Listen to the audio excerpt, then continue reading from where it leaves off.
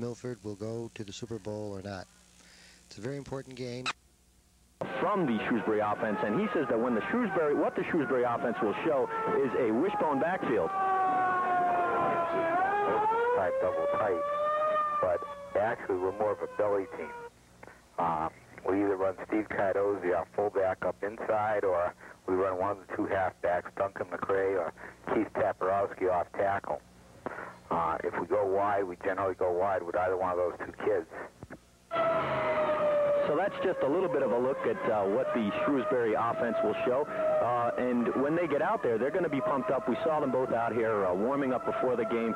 Both teams trying to, one trying to psych the other out. Uh, they, they, you know, clap the pads and, and scream a lot. And uh, it's something that you see at all high school games. You don't see it in the pros, uh, but you do see it in high school and you do see it in college. And that's the enthusiasm factor. And but but what we all know is that this game means a lot to both teams big game. It's the last game for your seniors. Um, 15 years ago when they came out with the rating system, I know whoever is ahead in the top two spots five minutes after the Thanksgiving Day game ends is uh, the people that the people that are going to go, and uh, that's really all you have to know as far as the Super Bowl standings go. And so uh, Holland, when I spoke to him, uh, expressed just a little bit of a worry. He's a little bit worried about stopping the Scarlet Hawk offense stopping the Milford kids. I don't know if we're going to be able to. Uh, most of the people they've played haven't been able to. So Dutch Holland, uh, he has a, uh, a cautiously optimistic view of coming into this game. Obviously, he's not too scared to show up. We saw him down on the field, and uh, you spoke to him, Jerry. Uh, did, did you talk to him a little bit uh, about the game? Well, I really didn't want to bother him. He was getting his team ready to go. He, he seems real calm. He's excited to be where he is, and uh, coming, you know, remove him from this game two years ago. They were 0-9 coming in. They knew that they really didn't have much of a chance against Milford, and they got you know blown out of the game. Uh, just being in this game is a real credit to him and his team. On that line, uh, Shrewsbury three years ago, their their football program was was pretty bad. Uh, Dutch Holland came in and he's brought them along, and now he's to the point where he's eyeing a Super Bowl. That's right. His first year they were 0-10, and I think it, I think it was a conscious, almost a three-year plan. He looked and he saw that he had some real talented athletes in his sophomore class: Duncan McRae, Steve Cardozi, Jeff Cormier, uh, just to name three of them. And he started playing these guys, and uh, they had to suffer through the first year, uh, 0-10. But they came back last year, had a real good season. They beat Milford in, to, in the final game to go 7-2 and 1, and. Uh, and here they are now. They're playing for a Super Bowl. They're playing for a possible, well, they would, if they win this game, they'll get at least a share of the league title. And so it, it, we, we just don't mean to drum this on, but uh, it, it is a very important game for both teams. And if you like, if you like high school football, and uh, a lot of times people enjoy seeing a game uh, on this level more than they do seeing it on the higher levels, uh, like the professionals, because down here you do see the kids make their mistakes, and uh, and you also see them get excited. Uh, it's something that uh, in the NFL, I don't know, it's just lacking a little bit. Uh, even with, uh, say, for instance, Rozelle clamping down on the celebrations, uh, outlawing the fun bunch and the Gastineau sack dance, that type of thing. If you want to see those type of things, you can see it down here. You won't see the organized type of things because they don't allow spiking in, in high school. That's that's a penalty. Mm. But uh, they do allow teams to get excited and run on the field and, and jump up and down, and and uh, it's it's what we've seen from uh, the Scarlet Hawks. Uh, they are a very uh, high-strung team. Well, not only do they have an exciting brand of football on the field. Like you say, they're real. Uh, I think you touched on it earlier. You mentioned the intimidation factor. And I remember when I used to play high school against Milford, uh, high school football against Milford. That was the that was the team that really intimidated intimidated us. Well, that was back in the days when Howie Long used to run around yeah, here too. Howie Long, right? I, uh, let's not talk about Howie Long. Actually, Howie Long broke his leg against Franklin. Uh, and you still have nightmares about it. I can it tell. wasn't me, Howie, if you're listening out there. Yeah, I think they're they're pretty bulky team. You can see uh, number 72 down there, Chris McGinley, is probably the biggest guy out there. They have him listed at 6'5", 203. Uh, but there, there, are a lot of other players who aren't quite as tall and are pretty bulked up. So uh, it should be a real physical game. Uh, we're expecting a physical game, and uh, of course, in, in the past, when we've seen uh, the Scarlet Hawks take on teams that hit like like we're expecting Shrewsbury to hit today, We've seen them cough up the ball a couple times. That's been their real problem, and we, we talked to Breen about it, and uh, he just about goes cross-eyed when you mention those fumbles. But uh, uh, it, it's something that he's had to try to work on, and it's because his players are trying to get that extra yard and they're taking that extra hit, and the ball pops loose most of the time under those circumstances. This is the most physical I've seen this league, or uh, probably the most physical football I've seen in a league. Uh, just incredible hitting out there. Marlboro game, 1 through 10, all all nine of the games Milford's played so far have been incredible hitting games. Even even Franklin, which is 0-9, hit hit Milford real hard. So you got to expect that kind of thing. As you say, if you're going for that extra yard, that second effort, uh, take two or three hits, and maybe the ball's going to pop loose. It's not really mental errors. It's just uh, over aggressiveness. What about the momentum factor here? Uh, it's an obvious. Uh, uh, advantage to Milford in that they get their home crowd and, and they're going to be making a lot of noise. The homecoming home crowd, uh, a lot of a lot of former Milford uh, students are, are back here and they're they're going to make a lot of noise this afternoon and that's going to work in Milford's favor. But if Shrewsbury comes out and uh, starts playing solid uh, solid football and, and gets things untracked early and, and starts to show this Milford homecoming crowd that they're here to play to play football and they mean business, uh, that could equalize and neutralize this homecoming crowd, kind of keep them out of the game. Yeah, well, uh, the homecoming crowd is a big factor. Obviously, Milford's going to have more people here. I, I think you have a, a point to an extent, but I don't think it's it's the same situation as if you had a uh, professional situation where there's thousands and thousands of people rooting for one team and you quiet them down and then that gets your momentum going. As soon as Milford does anything remotely right, you're going to see them uh, get just as vocal as they would be if Milford was winning. Well, the Scarlet Hawks are getting set to take the field as they gather down in the end zone to our right. The wind blowing in that direction now, I'm really sticking that flag straight out at this point. It uh, had been pretty docile for a while, but now the wind has really kind of picked up. And uh, the Scarlet Hawks, really an, excited bunch as you look over there. Uh, uh, and the uh, and at the opposite end of the field as the Shrewsbury Colonials run through their offensive plays uh, and get set to take on this game. And uh, today, I think they are going to have to be careful uh, that uh, some of their stars stretch out a little bit more today because that uh, the, with the with the footing as it is, a lot of times uh, a, uh, a player might try to make a cut and slip and pull a muscle, and uh, we've seen it happen many many times, and it's something that I'm sure both both coaches and their trainers have tried to get their players to do today. It's also pretty, you know, November, late November. It's pretty chilly out there, so you do want to loosen up real well. big game, you're going to be real pumped up. It's going to you might tighten up a little bit. So you're right. Yeah, you do want to be uh, want to make sure that you're loose out there.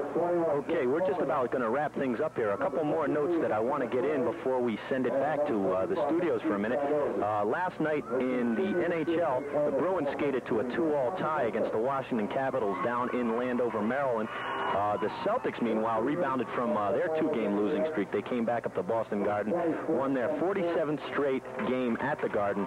Uh, they beat the Knicks last night by 11, uh, 101 to 90. And two notes from the Patriots camp. Steve Nelson now is out for the year, they say, and that includes the playoffs. So uh, Nelly, with uh, knee ligament damage, had arthroscopic surgery yesterday, will be out until 1987. A big, big loss for the Patriots. And in another injury note, Irving Fryar, the wide receiver, was released from the hospital but will not play on Sunday in New Orleans. Still no word on whether he will be uh, punished further by the team. Uh, there was speculation that uh, they might uh, take take some further action off the field. Okay, so we're going to send it back for this brief message, but we'll be back with the game right after this. Discover TJ Spirits, Route 135 on the Ashland-Hopkinton line. TJ Spirits features great luncheon specials daily, plus on Wednesday and Saturday night between 5 and 9. It's the all-you-can-eat buffet for just $5.95. Wednesday, it's Italian. No tiebreaker here. The scoreboard clock is official.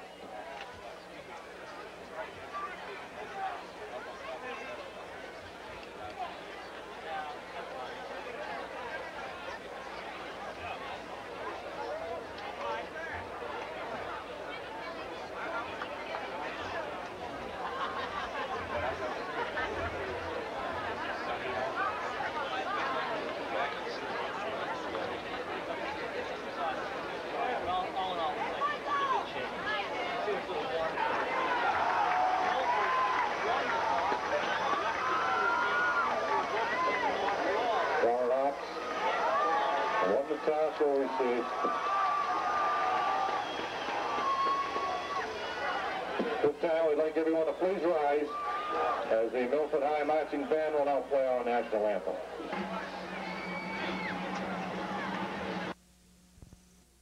Even the Shrewsbury uh, uh, stands, uh, the away stands, are, uh, have quite a few people in them. Milford's receiving here. And we're underway here on a end-over-end kick, heading down to the right side of the end zone. Keaveney takes it at the five, and he hustles up around the 30. He's got a little break, slips and falls, goes down on his left knee, and that's at the 30, 30-yard line, and that's where Milford will put it into play. A nice return by Keaveney. He might have had a little more if he didn't lose his footing and go down on his left knee, and that's when you're down in high school football, is when your knee hits. I think you, uh, we've talked about how the seniors are going to be pumped up. Mike Keaveney just made a real good play. He ran halfway across the field to uh, catch that punt, and like you say, he might have broken it if he hadn't slipped on the right sideline over there. Milford getting set to make their first offensive run at the Shrewsbury Colonials. Chris Wild, the quarterback, takes a snap and pitches left to Boldy. He's got a blocker in front of him. That's Lanzetta. Struggles forward for two yards. There's a flag on the other side of the field, and we'll have to wait to see what that's all about. Because the right end moved on the Milford side of the field, Milford right side. And it is indeed a legal procedure against Milford. That'll move him back a couple of yards. While we got this chance, let's set up the defense for Shrewsbury. At defensive end is Sean Dwyer, is uh, the sophomore uh, inside, inside left linebacker as Milford takes a snap on play number two. Pitch left again to Boldy. He's got a blocker. Lanzetta throws a nice one. Boldy's got some yardage. He picks up 10, so it'll be second down and five for Milford. A good run there, uh, just a, a, a an option left, and uh, Wild pitched to uh, Boldy. No big surprise. Uh, uh, really, Wild had no place to go. Well, it's, it's uh, the play that's worked for him all year. Saw Boldy sweeping. Uh, that might have gone a little farther if number 26 for uh, Shrewsbury, Mike Little, hadn't come up and made the play. Doug Robertson was almost made the block. And the first pass by Wild as he drops back into the pocket and throws it out to the right, overshoots Alves, and that'll bring up a third down in five yards.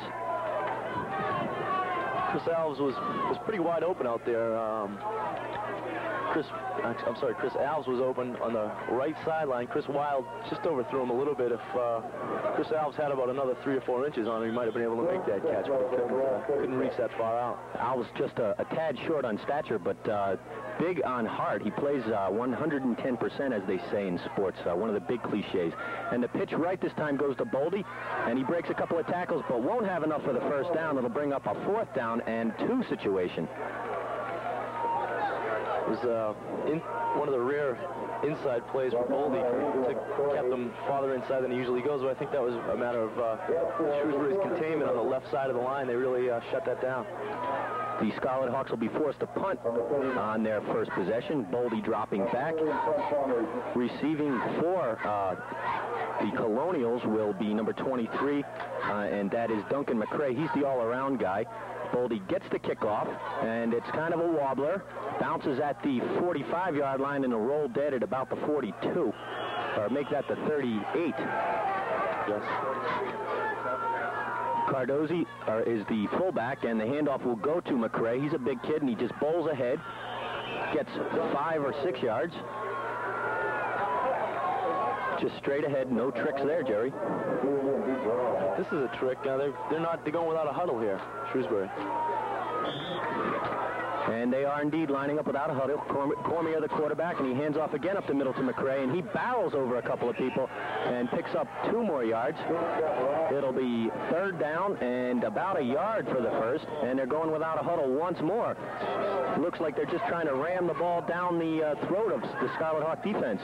And once again, McCrae, and he gets the first down before he's brought down. Uh, he gets a couple more, and he'll be down across midfield at the Scarlet Hawk 47-yard line. And once again, Shrewsbury lines up without a huddle. This is something I've never seen, and it's really, seems to be working so far. I think Milford might want to call a timeout or something. Well, they haven't done anything tricky yet. They've just handed off to McCrae three straight times, get a first down across midfield now. And a little counterplay going back the other way and hit and drop for a loss is number 33, Toporowski. He's the sophomore that we've been talking about. Uh, and uh, no tricks there and just hauled down in the backfield, a two-yard loss. Well, uh, Dave DiGirolamo made that play. He didn't make the tackle. Mark Curran came up and made the uh, tackle, but DiGirolamo made the initial hit that slowed him up for Curran. And with that loss, we see Shrewsbury's first huddle on offense. Cormier, the quarterback, Cardozi, the fullback, Toporowski, and McCray. And there is some movement by both the offense and defense. We'll have to wait to see who drew who off. It should go against the offense. I'm not saying what they will call, but even though the defense moved first, the offense was set and they moved before the ball was snapped. There was no contact made as far as I could see. No instant replays in high school football, so this will be settled uh, for good in just about a second. The referee is talking to the Milford defense, so it is going to go against Shrewsbury. Oh, no, it's not. As a matter of fact, they're calling them offsetting, Jerry. I never really understood that. Yeah, that's, uh, that's an unusual call. They both jumped, but uh, one led to the other. So uh, uh what we have here is uh, a case of uh, maybe a little bit of a dispute early in the game. From what I understand, unless the defense makes contact, as long as the ball isn't snapped, they're not offsides, and that's what happened. But the referee saw it the other way. Cormier takes a snap and hands off to McCray coming back the other way, or is that Toporowski? Uh, Keith Toporowski. I like that name. And he gets back two yards, the two that he lost on first down. It'll bring up third down and 10 for the Shrewsbury Colonials, who had come out and bang, bang, bang, run five plays off without a huddle before they finally, uh, and they were successful, and then they were thrown for a loss by the defense. Uh, uh, Mark Curran coming up to make a big hit, and now they're huddling on every down. Cormier at the line now. Takes the snap and pitches left to McCray. He's got a host of blockers in front of him, but the Scarlet Hawk defense does a good job of stringing that one out. They just had a lot of pursuit across the field and shut him down right at the line of scrimmage. No gain. From the beginning, you could see that wasn't going anywhere. Uh, there must have been five or six Hawks on that right side. I don't know if they were expecting the player. They just overplayed that side, but uh, there was just nowhere to go. So we played about four and a half minutes of this game, and uh, both teams just kind of feeling each other out now. Uh, taking left jabs if, the, if this were a boxing match. They're just kind of punching at each other as uh, Duncan McCray, the all-around guy, 60-minute player for Shrewsbury, uh, comes back to punt. Chris Alves back to receive. The snap's a little low. A couple of guys got in and almost got a hold of this end-over-end kick that bounces at the 15 and will bound down inside the 10 and goes into the end zone, but it was touched before it went in. It is a touchback. Ball will go out to the 20, and uh, that was almost uh, a fine play by number 40, uh, and uh, he almost trapped it inside the 10-yard line, but uh, accidentally knocked it into the end zone and uh, gives Milford a little bit of a break. It was Dave Zona. He, he tried to knock it back into the playing field. He was close enough to the sideline where I think he should have just tried to knock it out of bounds, which would have put Milford in real tough field position. It was a big break for Milford to get it at the 20 instead of inside the five. Just over six minutes to play here in the first quarter. No score on a beautiful Thanksgiving day down here. The uh, mascot down right below us, the Scarlet Hawk. And uh, we have a pretty good crowd on hand today, Jerry. People still filing in. Milford side's really uh, loaded up. Shrewsbury looks like they could fit a few more people on that side, but uh, still fairly well represented for it's kind of a long ride. For, a, for an away game of that uh, that distance, uh, there really is quite a, are quite a few people over there. Considering they can't hear us out there, I don't believe. at, at, any rate, uh, referees, excuse me, Matt. The referees just talked over whether that was indeed a, a touchback, and they came to the conclusion that it was. So it's first and, and 10 at the 20. That's where Milford puts it in play. While the quarterback, Boldy, the tailback behind Lanzetta. The handoff to Lanzetta going right, and he's got some room, and he's hauled down after an 11-yard gain. Robbie Lanzetta just burst through the line of scrimmage, and nobody touched him. There was an amazing hole on that right side of that Milford, Milford line. Nobody touched Lanzetta for 10 yards, and uh, there was one man to beat. And, uh, you know, Lanzetta, he wasn't going to try to make any fancy moves or anything. He just tried to go over, and uh, the left cornerback made a nice open field tackle. Chris Elmore is wide left, Robertson wide right. Boldy still in at tailback behind Lanzetta, and Boldy will get the call, and he goes inside this time, which is, uh, as you said before, unusual for him. About a three-yard gain on the play. Milford wants to show as many uh, different aspects of the offense as they can. They, they want Shrewsbury to know that just because Boldy's getting the ball, it's, it's not going to be a sweep, and just because Lanzetta's getting it, it's not going to be a dive. So uh, try to keep them guessing. The Milford Scarlet Hawks line up with Alves in the slot left and Robertson wide left. Boldy the tailback and the handoff up the middle to Lanzetta. Bounces and spins. Now there's a fancy move as he falls forward for eight yards. It'll bring up a third down and one situation. Even though it was fancy, it was typical Robbie Lanzetta. He banged off about four people and just kept spinning and spinning, and he uh, fought his way across the 40-yard line. And there's a timeout down on the field, a, a referee's timeout, an official's timeout as they measure for the first down for Milford. And uh, we expect to see Lanzetta get the ball, and he won't. It's a Boldy pitch left, and he's got some running room. And he'll have the first down and more as he cuts back and uh, almost broke that for a huge gainer. He got seven yards on the carry as they get out to the 48-yard line of Milford. It'll be first and 10. Say what made that play was uh, Chris Elmore split out wide to the left, and he started back in motion. And he cracked back on, they, it was kind of a trap play. They let the uh, right tackle or right end in, and uh, when he came out to hit Todd Boldy, Elmore cracked, uh, cracked back, and there was a big opening for Boldy. And the handoff up the middle to Lanzetta on this play. He's got nowhere to run as he's hauled down right at the line of scrimmage. He may have forced forward for, uh, or forged forward for about a yard, but uh, not much doing in the center of that Shrewsbury defense right now. The old mouth doesn't work so well this early in the morning, does it?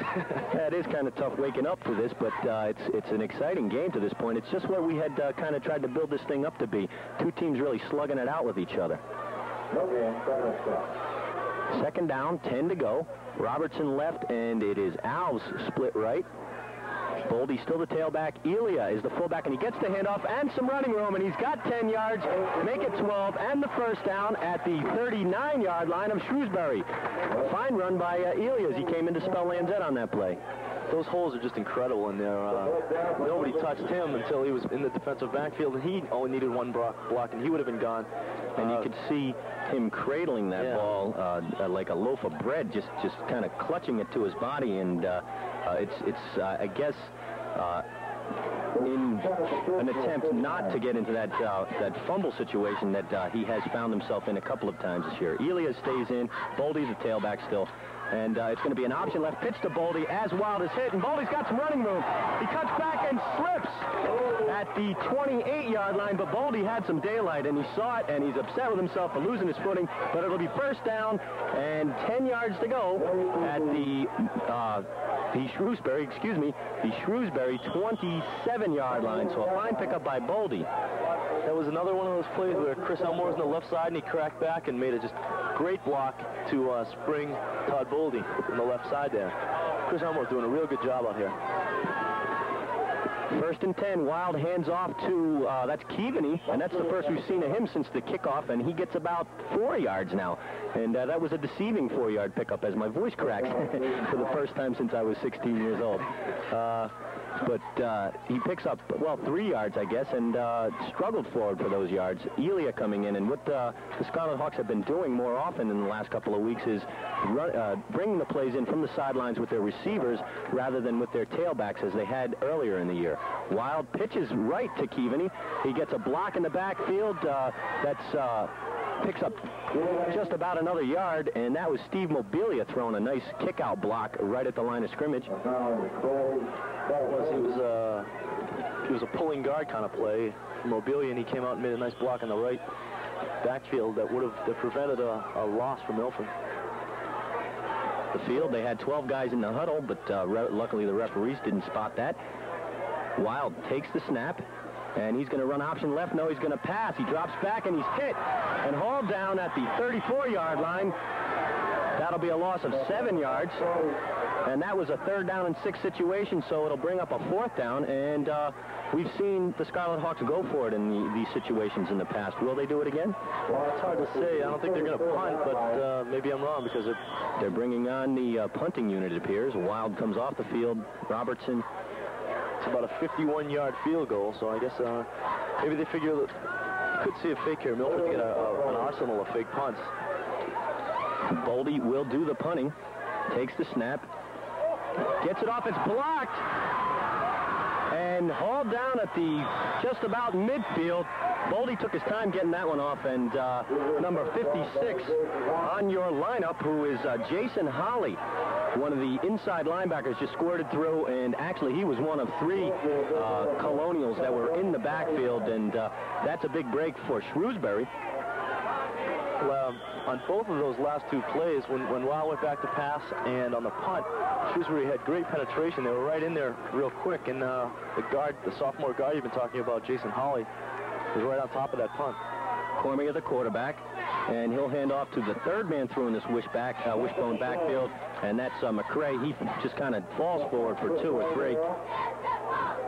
Just over a minute to play here in the first quarter. No score, lots of action, but uh, nobody getting across the goal line yet.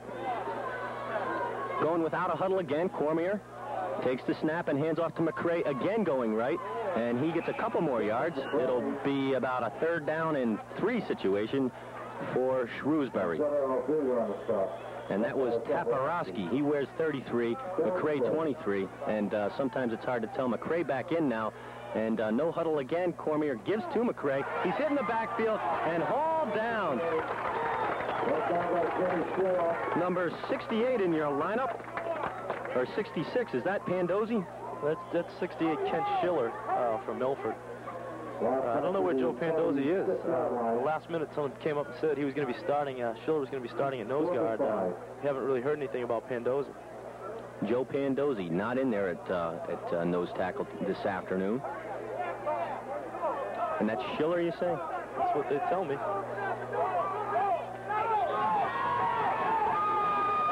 No time left here in the first quarter.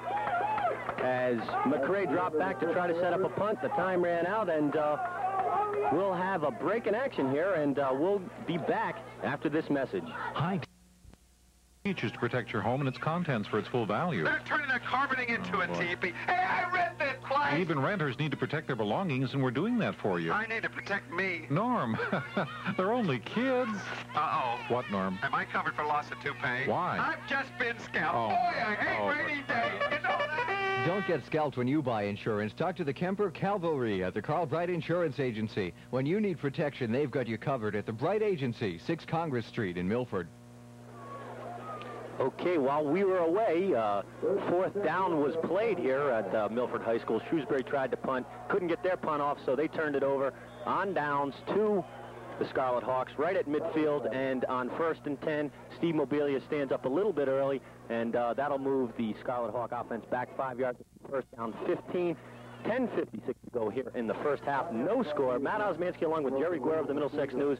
And uh, we saw a lot of action in that first quarter, Jerry. Well, Milford looked like they had the momentum when they moved right down the field. Then on that blocked punt, Shrewsbury might have gotten it back, but didn't take advantage of it, uh, having to turn it over on downs four plays. So we got Robertson wide right, Alves in the slot right, and uh, Wild will drop back and look over his receivers going for Alves, and Alves was momentarily open. He's got it! Alves is going to score! A beautiful pass and catch from Chris Wild, and he hit Alves right in stride at about the 30-yard line, goes into the end zone untouched, and Milford goes up 6 to nothing. It was a perfect, flat, perfectly run pass play. Uh, Chris Wild had plenty of time. He had Alves streaking down the right sideline. There was some coverage back there, but Chris Alves outran it, and uh, he was all alone by the time he caught the ball. Made a nice uh, basket sort of catch and just ran in the last 20 yards without anybody on his tail. That's just like you draw it up on the uh, the highlight films. Chris Alves hauling it in over his shoulder and scampering in 30 yards. He just turned on the juice and ran away from Little, the uh, defensive back on that cover. Really fooled him on that play. I don't think Little even realized he was out there. It was a 56-yard pass play. Wild will attempt the extra point here, six to nothing early in the second quarter. The kick is up, and it is going to be good. So it's seven to nothing here at uh, Milford High School, and uh, with the score seven to nothing, just over 10 minutes to go in the first half. We're going to take a break for this message. Feel the difference the right tire can make with a new set of Kelly Navigator 600s from Milford Tire Products. The Kelly Navigator 600 an all-season steel-belted radiator.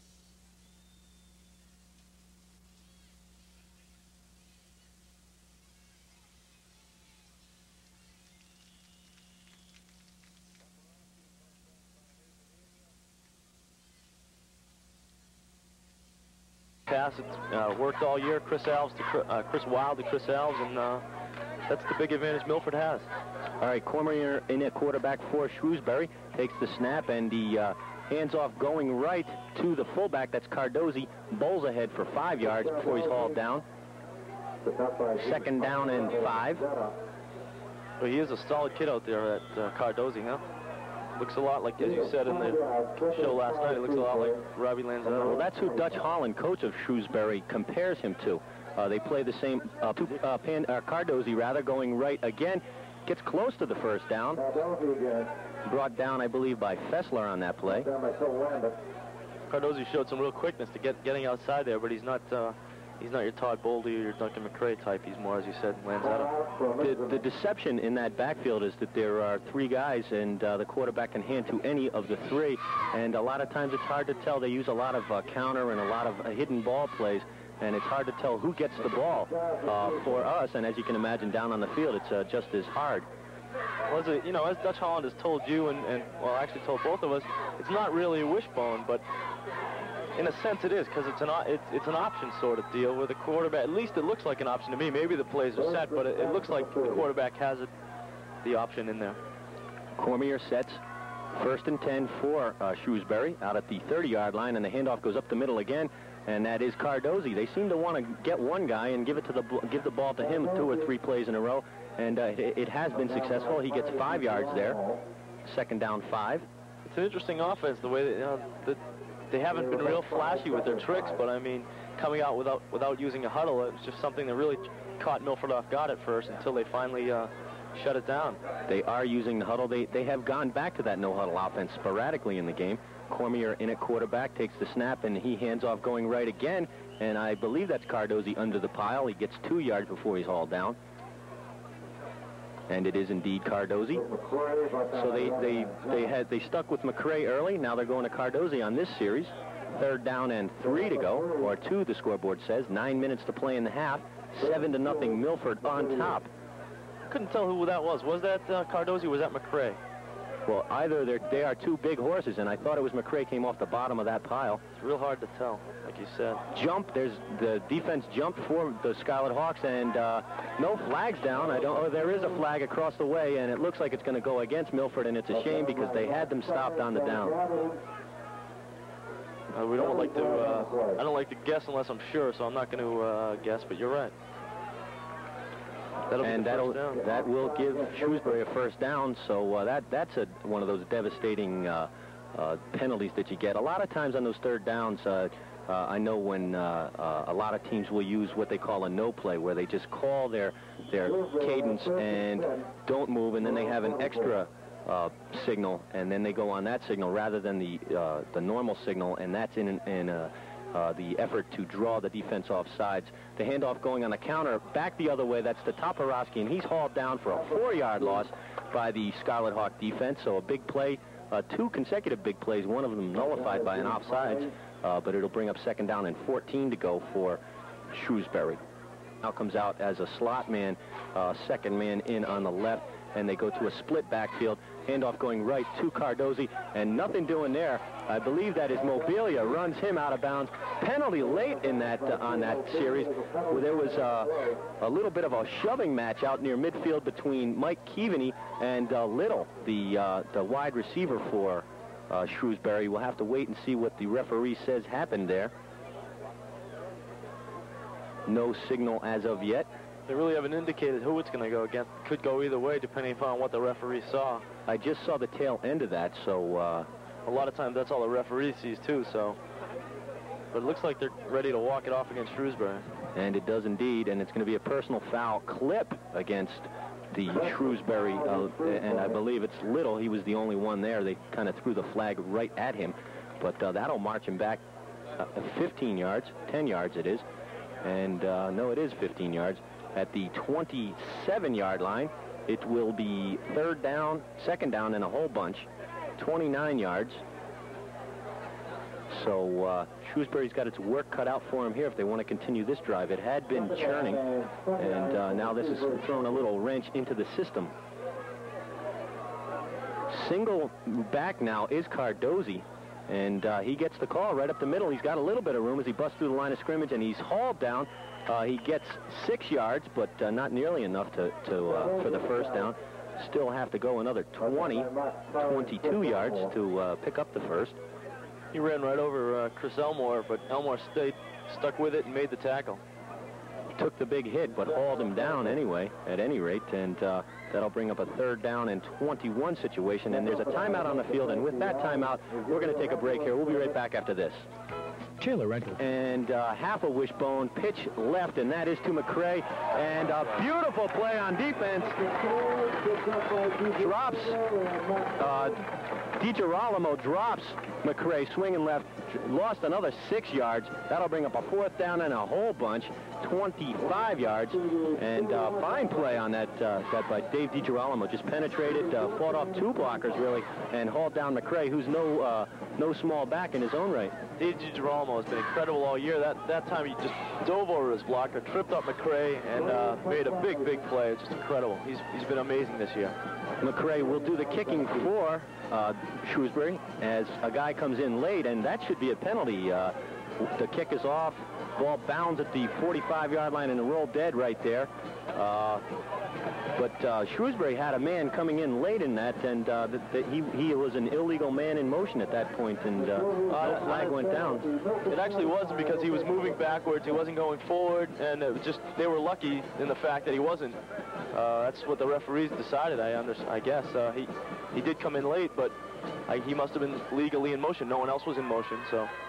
So Milford puts the ball in play at the 45-yard line. First and 10. Wild the quarterback and uh, Boldy the tailback. He gets the call right up the middle, and that's about the third or fourth time we've seen him with the ball up the middle. Hit right at the line of scrimmage. Falls forward for a foot or two, uh, but really no gain, nothing going there.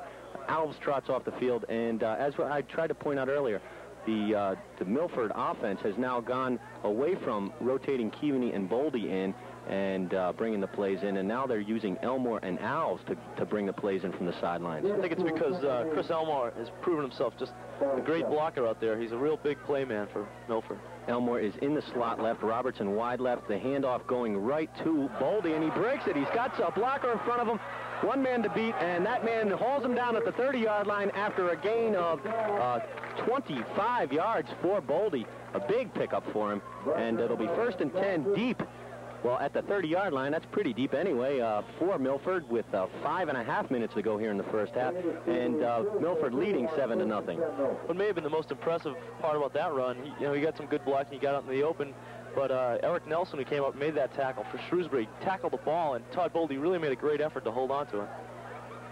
Set to go on offense. Lanzetta, the fullback, Boldy, the tailback, Wild, the quarterback, takes the snap, hands off to Lanzetta off the left tackle, and he kind of using that spin move again, Jerry, but he gets four or five, falls forward for one anyway, and uh, it'll bring up a second down and seven situation, six six yards that is, and uh, just over five minutes to go, the clock running. All these guys, uh, you know, you mentioned the spin moves. I guess they, they march out the fancy stuff for Thanksgiving, but uh, it's it's been effective, so you can't really fault them. Wild still in a quarterback, Lanzetta the fullback, and Wild is going to run the option pitch left to Boldy. He's got a little bit of running room around end. He's going to fall forward for the first down, I think. Boldy uh, get, got his blockers out in front of him, and he really uses his blockers well, Jerry. Yeah, he did on that on that 23-yard run earlier, and on that play also, just to just to gain the six or seven yards that he did get. It uh, took some real smart running behind those blockers. But the amazing thing is that uh, that option works where Chris Wild very, very rarely keeps it, and uh, still works, and that's partly because of the talent of Todd Boldy. It, that uh, it works in that uh, Boldy is able to get outside, and also with Wild at least faking that uh, he's going to keep the ball. He draws the defensive end in, so it's one less guy that they have to block. Elia in now as the lone setback for Milford. Three guys wide right, Boldy, Alves, and Robertson. And the handoff up the middle to Elia, swarmed under after a short gain. Picks up a yard. It'll be third down and eight for Milford. Four and a half minutes to go in the first half. Ball at the 19-yard line of Shrewsbury. And the Milford Scarlet Hawks on the march. Chris Elmore bringing the play in from the sidelines now. The wind. I'm, I'm sorry, sorry. I was going to say, after that play, only a one-yard game, it's not a good time to bring this up, but it looks like Milford's controlling the line of scrimmage in this game. Okay, Elia stays in, and the handoff goes to Boldy left, cuts back, and uh, nothing really doing there either. He gets another yard, so it'll bring up a fourth down. Can I re just retract that statement I just made? Or a, is that a third down? It's going to be third and eight. It's going to be third and eight, okay. At least. I, they, they really marked, didn't give him much of a mark, and it's going to be uh, no gain for third and nine, it looks like. So Lanzetta comes back in, and Elia will trot to the sidelines. Elmore in, Alves on the sidelines. Seriously, Milford's line is controlling most of this game. Uh, the, the, blocking has really been there on the offensive line of scrimmage for the, these backs, Boldy and Lanzetta. Well, there are big guys on both sides of the line. Wild sets, drops straight back, rolls a little right now, fake pumps, throws over the middle, ball is tipped and incomplete.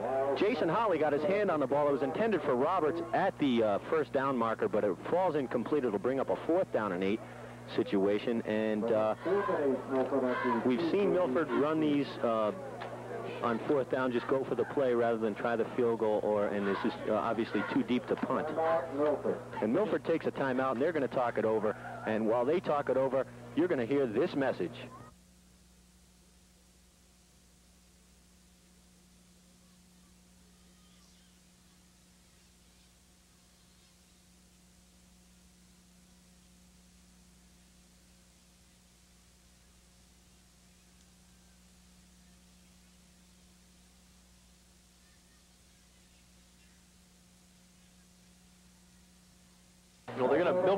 Try to up the score a little bit. It looks like Dennis Breen came out, talked to Chris Wild, asked him what he, if he thought he could make this 30, 38 yards. He's got the wind with him, so uh, Chris Wild said he thought he could. The wind blowing directly to Wild's back. The kick is up, and it's not going to be nearly uh, long enough as it falls short right at the goal line. So Wild gave it his best, but uh, Milford will turn it over to Shrewsbury on downs, and they'll take over at the 20-yard line. First and 10 for Shrewsbury. So it was as good as a punt that rolled in the end zone. Yeah, well, basically, uh, Chris Wild looked like he kind of overhit that ball. He was really trying to make the distance and uh, just really didn't get anything on it at all. But Milford didn't lose too much. If they went for it, went for the play and didn't make it, they'd, um, Shrewsbury would still have the ball in the same situation. And like you said, if they punted and went in the end zone, which is almost a sure thing from the 19-yard line, uh, Shrewsbury would get the ball at the 20 anyway. So it was worth a try. Jeff Cormier brings the Shrewsbury offense back out in that wishbone look. And the handoff is to Toporowski going right. Doesn't pick up too much, a yard maybe. And he's the sophomore sensation that we're going to be seeing a lot of in the next couple of years uh, in that uh, he was brought in during at, at about midseason and has 500 yards already. Well, he's a sophomore sensation. We've seen another sophomore, Jason Holly, so obviously there's a uh, future here for Shrewsbury and at least those two players. Second down, eight yards to go. Wishbone looks still for the uh, Shrewsbury Colonials. And the hand out, and it's a pass play complete to McCray. He hit that ball so well, I didn't even see him dropping back, and it was a little bit of a wounded duck, but McCray hauled it in for the first down for Shrewsbury out to the 30-yard line. It was just incredible. He got that pass off. He had Mike Keaveney blitzing from the right side, uh, cornerback blitz, to hit him just as he released the ball, and it kind of floated up there, but uh, he had enough on it to get it to Duncan McCray, and McCray hauled it in. It'll bring up first and 10 at the 30-yard line for Shrewsbury, trying to mount something here late in the first half. And the handoff goes to the right. First man through, and that is uh, that's going to be Duncan McCray, I believe, at the bottom of that pile. Suppose we could get them to change their jersey numbers so we could uh, we got 25, 23, and 33. So it's and sure enough, I was wrong. It was Cardozi with the ball. He picks up five yards, second down and five for Shrewsbury. Two and a half minutes to go here in the first half. Seven to nothing Milford leads on this homecoming uh, morning. I keep wanting to say afternoon, but it is still morning. The handoff goes to Cardozi again, and this time Milford has it red. If he got anything, it wasn't much, a yard perhaps. Bring up a third down and six situation. Little fisticuffs going on down there. They're swinging at each other in at the bottom of that pile. Uh, Lanzetta and DiGirolamo in there for Milford. I didn't, uh, didn't catch who was in there for Shrewsbury other than number 20, who is Bob Co uh, Cody. Those are, uh, the, the emotions are high in this game. There's a lot at stake for both teams. The seniors want to win this game, obviously, go out winners, possibly play in one more game, which would be the Super Bowl. So with that in mind, and this being a tough, hard-nosed team on both sides of the ball, uh, you expect that type of thing. This time dropping back for the second pass is Cormier. He's scrambling, fake pumps, and he's going to have the first down and a couple more for Shrewsbury out to the 30 or 45-yard line, excuse me, and uh, Cormier doing what uh, Dutch Holland says that he does best, and that is uh, run with the ball. He's a real threat to run. He, we saw that he can pass the ball, but it's not his, his strength as opposed to his running game. And if given the choice, I think he, Dutch Holland would rather see his, his uh, little quarterback run the ball. And there is another timeout on the field with a minute and a half to go. And while they look things over down here, you listen to the ball, the handoff to Cardozi up the middle on first down, gets maybe a yard and a half, uh, tough yard and a half. He gets those tough yards like Lanzetta gets the tough yards for Milford. I'll tell you something, uh, Shrewsbury can't really keep going at this pace if they hope to score. There's only about a minute, under, closing in on a minute left in this game, and half, I'm sorry. and uh, wishful thinking, I guess, with a 7 nothing lead. But That's uh, right. The wind picking up quite a bit now, and uh, Shrewsbury will have the wind at their back when they come back out for the second half. Cormier takes the snap, hands off to Cardozi gunning, coming left this time, strung out by Keaveney, and he was really the key on that play. Toporowski trying to throw the block on his uh, on the defender Keaveney, but Keaveney fighting the block off, forcing it back inside, where Steve Mobilia, or Mark Kern rather, was able to haul him down. I think Toporowski actually made that tackle. It looked like Cardozi tripped over his halfback's ankle as he was running by him. Might have made, had a few more yards out of that one. Third down and six to go for Shrewsbury. They're out to the 45-yard line, 44-yard line, make it. Cormier, the quarterback, single setback is Duncan McRae. He's going right with this one. He's got a lot of blockers and the first down, and then three more, and he throws a spin uh, spin move on uh, the, uh, Fessler, I believe, or Mobilia on the bottom of that tackle, and uh, he looked like Lanzetta with that, that uh, spinning pirouette move. Guess maybe he realizes he's a lot like Lanzetta and maybe trying to mimic his uh, double there, but it's only 15 seconds left, and if Shrewsbury, you know, this, the fact that they're moving the ball is great, but the half's going to run out on them unless they unless they throw the ball. 15 seconds left, and there's a timeout on the field, so we're going to take another timeout here.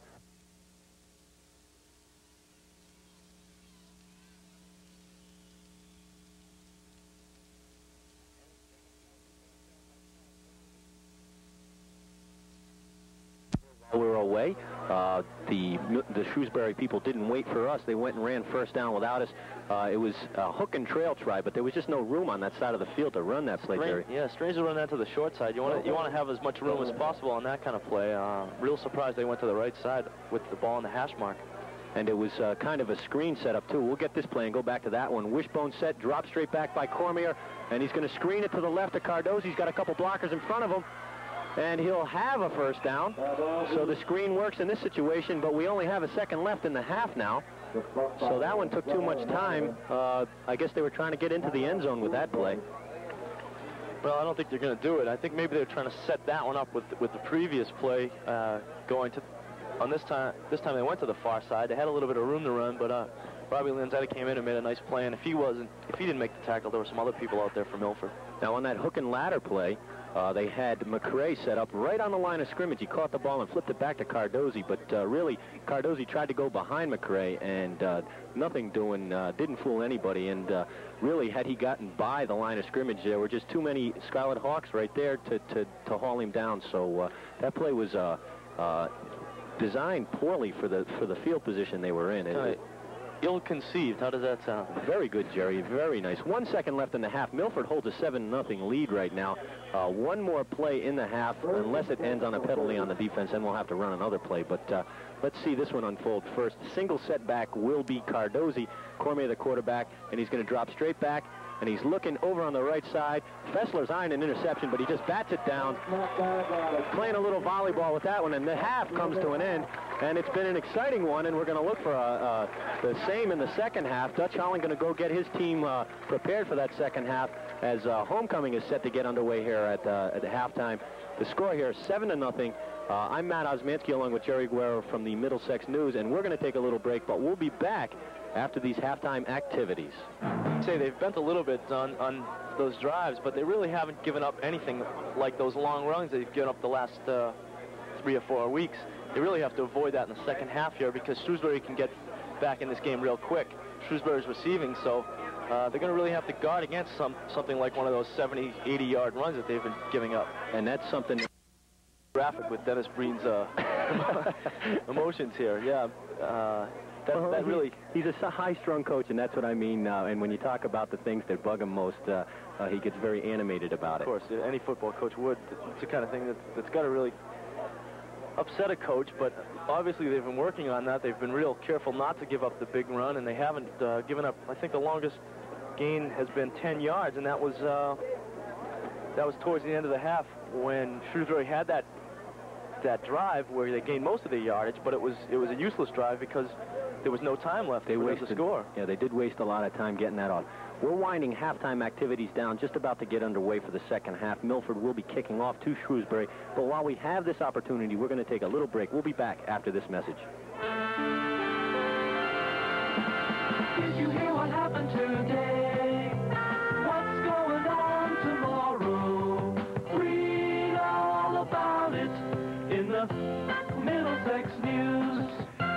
Thursday, November 27th, the Middlesex News will introduce its new op-ed page. Op-ed stands for opinion and editorial, and on this page,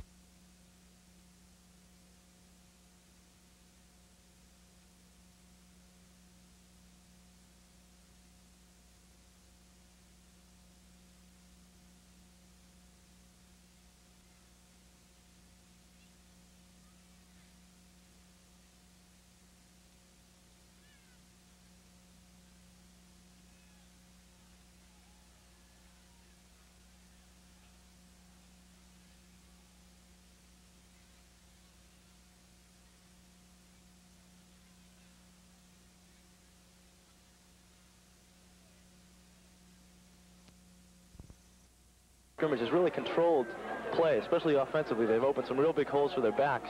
If they can continue to do that, there's no way that they won't score again.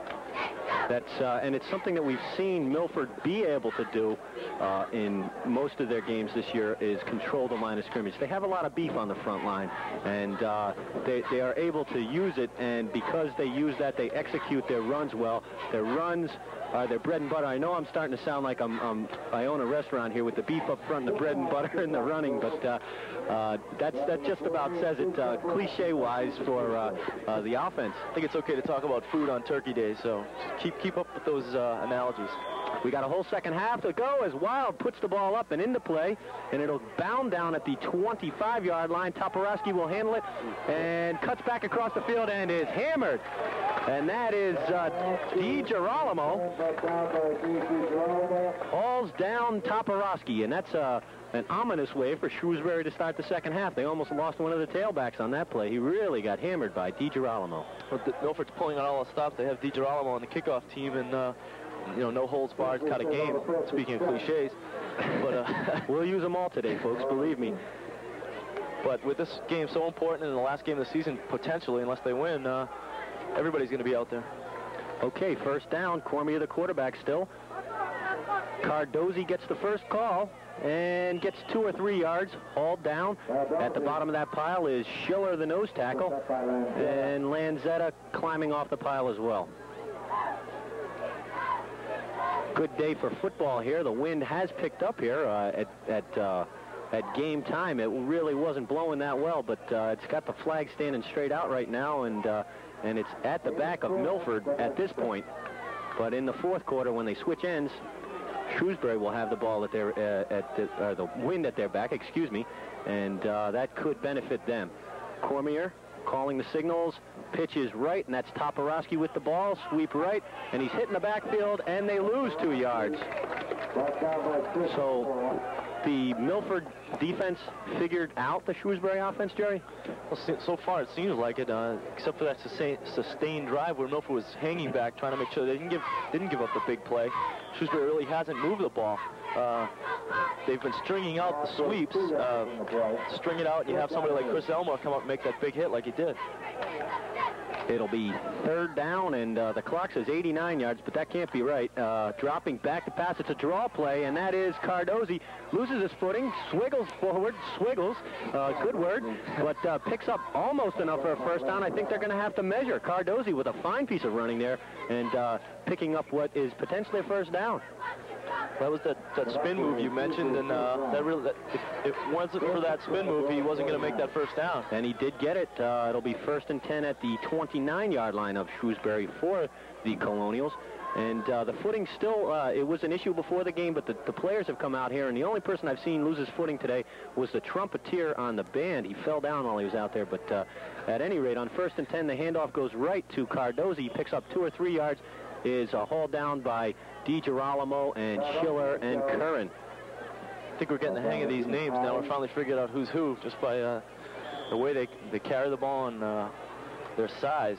It, it is a a little good job on that.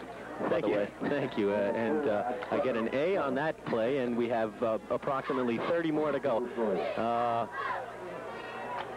Uh, Cormier, the quarterback again, and a real wide uh, set, almost a wing T offense. Uh, confusion in the backfield, and the handoff goes to Cardozi, who wiggles forward for another yard. Swiggles and wiggles, this guy, doesn't he? Yeah, he really gets around. It'll bring up a third and five situation for Shrewsbury at their own 35-yard line.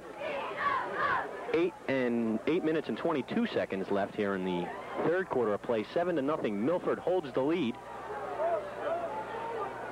And Cormier will bark out the signals here. Half of the wishbone offense behind him. Pitch right to Duncan McCrae, and he picks up three of those yards.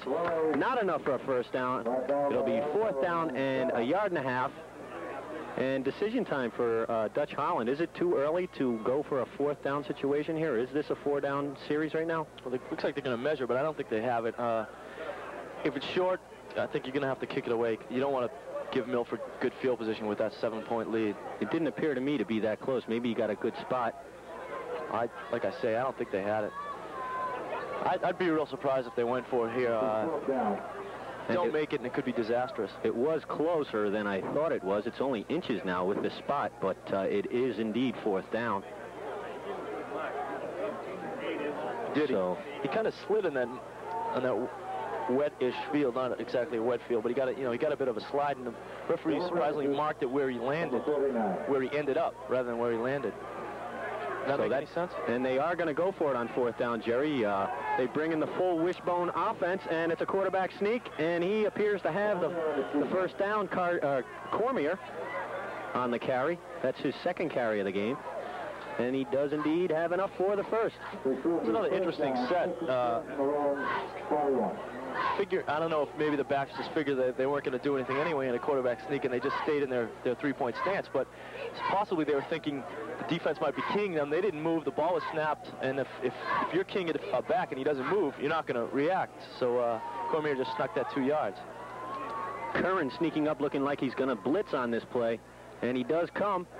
And it's a pass play out into the right flat. And it was almost as if Shrewsbury, it's incomplete, by the way. Uh, that is an important issue, uh, incomplete pass. And it, but it almost looked as if Shrewsbury read that and threw to uh, Curran's side. They threw where he vacated when he blitzed. It's possible. At this point of the year, a lot of teams have audibles. Uh, he might have audibled out there. Mike Keaveney stayed home. Uh, he covered Toporowski real well, and uh, there was no chance, even if he had completed that, of that being the big game-breaking play. Seven minutes, 16 seconds to go with the clock stopped here in the third quarter. Seven to nothing. Milford leads. Cormier, the quarterback, hands off, going right to Cardozi, and he's met at the line of scrimmage and falls forward for a yard. It'll bring up a third down and nine situation for Shrewsbury. And uh, Dutch Holland may have to go to the pass again today. He said he doesn't.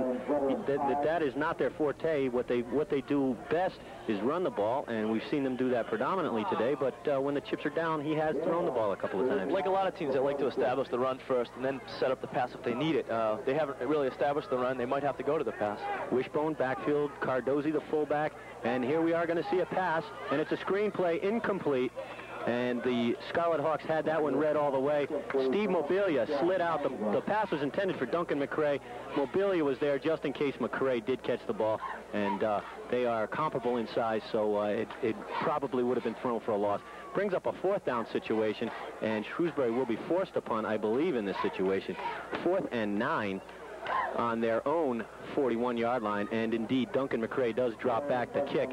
Keaveney and Alves back deep to receive. They're standing at uh, while Alves is at the 25, Keaveney at the 30. And the kick is a pretty good one, uh, kind of a knuckleball, but it bounces to the 30 and gets a Shrewsbury roll down to the 25-yard line and inside the 25 to the 24 and a half, and it'll be first down, 10 to go for Milford when they take over on downs here. Well, key to that key to that defensive series was uh, the left side of Milford's uh, deep back secondary sort of situation. Uh, Chris Elmore was coming up and stuffing those sweep rights by Shrewsbury, and then uh, Robbie Lanzetta was finishing off. Those two had a really good defensive series. And Lanzetta stays in at fullback. Boldy, the tailback. Alves in the slot right, and Robertson wide right. The handoff up the middle to uh, Boldy, and he's going in between the hole. He picks up a yard or two.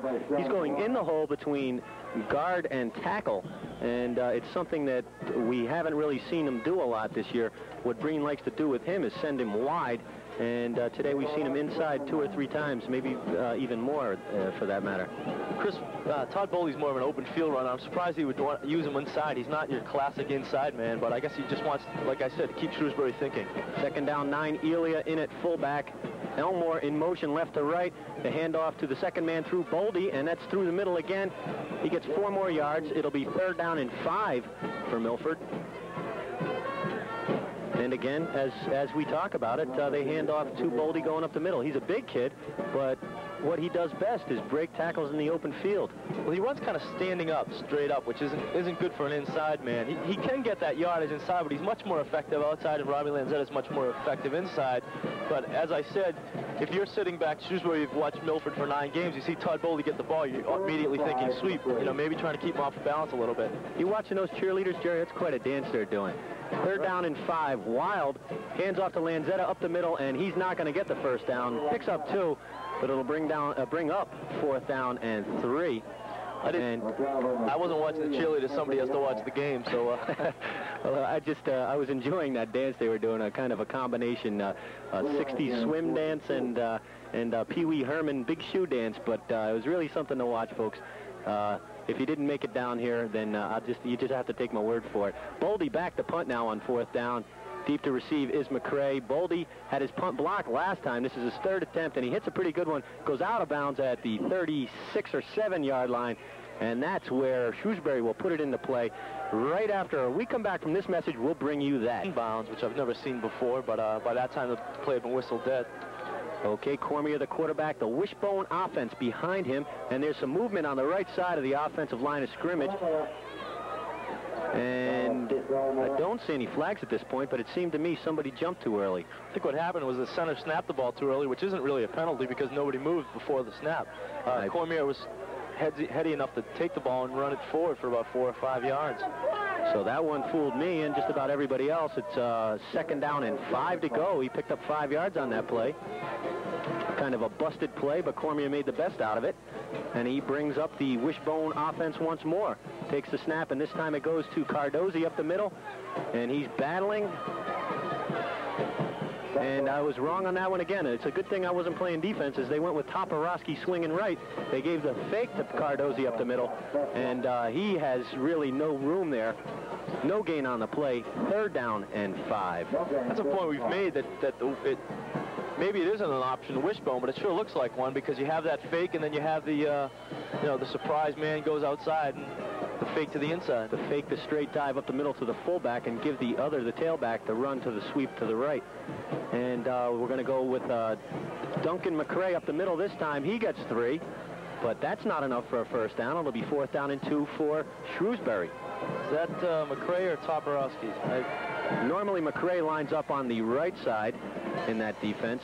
Okay, I'll take your word for it. And it is indeed McCray. Got to keep these rough stats uh, as accurate as possible. Milford was really cheating up on that play. Uh, I don't know if they saw a set that they know that Shrewsbury runs out of or what, but they really didn't respect the pass on that play at all. Fourth down, two to go. McCray back to punt. Alves the lone deep man now for Milford. McCray takes a low snap on one hop, gets it off just in time, and it's a high spiraling punt. Alves fields it on a fair catch, and that was kind of a risky play, but he'll bring it in play at the 34-yard line. Alves on a shoestring grab there. Well, Chris Alves is confident enough in the fact that he that he could catch the ball that he uh, he came up, figured he'd prevent any kind of a good roll that would have put Milford in tough field position. As it is now, they're out across the 30 and uh, in pretty good shape. So it's first and 10, 3 minutes 14 seconds to go here in the third quarter. Lanzetta in at fullback still. He's been the, the, the bull, the, the real uh, uh, bread and butter guy. Here I go again with the food talk, but uh, and he, they faked him on a play action. Throw over the middle of Mark Curran, complete, and a 17-yard gain for Curran. And we and Curran gets up limping, but he's going back to the huddle and not the sidelines. That was a nice fake by uh, play action sort of play by Chris Wild. He really uh, froze the Shrewsbury linebackers and, and, allowed Mark Curran to get free out in the uh, defensive backfield. And Curran was the man that we felt was lost in the offensive scheme of things. Uh, we spoke spoke about it last night as Wild runs the option right to Boldy. Coming around tackle, he's got a blocker, Lanzetta, who mows down his defender. And it's another 15-yard gain for Todd Boldy. Lanzetta just really devastated uh, the uh, tackler. That's Cardozi, the linebacker, I think. Yeah, they they, they met head-to-head, and uh, Lanzetta won that battle. Uh, it's tough to tell. Whoever it was, he took a beating out there. Lanzetta just just eating the play, knocked him uh, right on his tail pad, right? Curran now comes out of the game. He hurt himself on that catch, and John LeBlanc, a senior, comes in to fill his spot at tight end. Dropping back to pass again is Wild. Looking for Boldy in the flat. He's open. He's got the pass. And it's a four-yard gain down to the 31. So Milford using uh, just about everything, throwing everything out there now except the kitchen sink, as they say. I thought I'd throw that cliche in while we're at it. When are we going to say knock the stuffing out of him? Mark Curran being looked at on the sidelines. Uh, it looks like maybe his right ankle was injured. Uh, he made that catch. Picked up the first down, big play, 17-yard gain. Now Todd Boldy, a 15-yard gain, and Boldy again on a four-yard uh, swing pass out into the left flat, four-yard gain. Second down, six. Wild takes the snap, pitches right to Keaveney. Keaveney tries to cut inside, but loses that four yards that uh, Boldy picked up on first down, so it'll bring up third down and 10. That was the big tackle. Chris McGinley penetrated real well. Uh, Mike Keaveney didn't have a chance to, to make it to the outside, and uh, Milford, that was a big loss. It'll bring up third down, 10 to go with just under two minutes to play in the third quarter, and Milford holding a slim 7-0 lead on the Shrewsbury Colonials, uh, who have an ever-dangerous wishbone offense that uh, really has has shown signs of being a very potent offense, but uh, not getting deep into Milford's uh, territory yet today. Wild takes the snap, and hands off, uh, drops back. Another play action, and he's going into the end zone to Alves again, and that ball was incomplete. And uh, the hometown fans want to see a flag on that because there was some contact, but the defender did have position, and uh, that's what the referees ruled.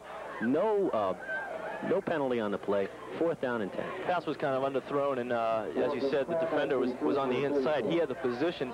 If there was any interference call to be made, it would have been on the offense, but there, it was a, basically a clean play. They were both going for the ball. A minute 25, and the clock is stopped right now here in Milford. It's a fourth down and 10 situation, and Milford will go with go for it now. They're at the 35-yard uh, line, so uh, they're going to go for it on fourth down. The pitch left to Boldy. He's got Lanzetta in front of him, but uh, someone snuck in behind him and brought him down from behind. And I believe that was number 56, Holly, the linebacker, knifing in to make the stop. There you go again, knifing. I'm just uh, thinking about, see, my mom invited me over for Thanksgiving dinner, and uh, that's where I'm going when I get out of here. But uh, I'll try to keep my mind on the game, and it's a good one. Shrewsbury takes over on downs at their 34, 33-yard line. Minute 16 to go in the uh, third quarter, and Milford leads 7 to nothing. And uh, if they're going to get something going, uh, they better start doing it soon because time is going to become a factor Shrewsbury, for right. Dutch Holland is really winding down here. First and 10. Cormier pitches right to Duncan McRae, catches it on the fly and bowls ahead for six yards pretty unfortunate that uh, Milford couldn't get something, at least something out of that three points or so. Uh, they really were impressive on that drive, showing the diversity of the offense, and they just kind of stalled, as they have a lot of times, you know, around the 30, 20-yard line. So uh, Milford would have really liked to have gotten some points and be more than one score ahead right now. Mark Curran back in the game at linebacker. Steve Mobilia trots off the field right now. The wishbone offense again, working for Shrewsbury. Second man First man through is uh, Cardozi. He bowls ahead for two more yards. It'll bring up a third down and a yard and a half situation. McCray got more than I thought on that fir first down play. He, uh, it looked like he only got about three or four yards, but he ended up with a seven-yard gain. And Cormier really uh, finishing out the play by making all of his fakes, and that's important in that type of an offense. And the ball's loose on a fumble, and it bounces ahead. Cormier lost the ball uh, at the snap. The ball bounces, and whoever has it, and it is indeed Shrewsbury, and it bounced ahead for the first down. So uh, for Shrewsbury that uh, there was the uh, offensive line had pushed Milford back far enough that they could fall on that ball. That's going to be just about do it for the third quarter here. And that should be the last play of the third quarter with five seconds in the clock running here. Milford leading seven to nothing, and uh, that's the end of the third quarter here at uh, Milford High School football field. And uh, I'm Matt Osmansky along with Jerry Guerra of the Middlesex News. We're going to call you the fourth quarter in just a minute, but uh, we got to take a break for this message first.